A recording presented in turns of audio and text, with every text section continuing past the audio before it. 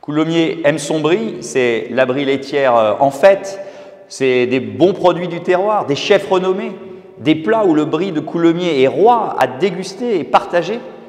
Et puis c'est une filière fromagère, donc Coulommiers est l'épicentre et le projet Maison des fromages et le porte-drapeau.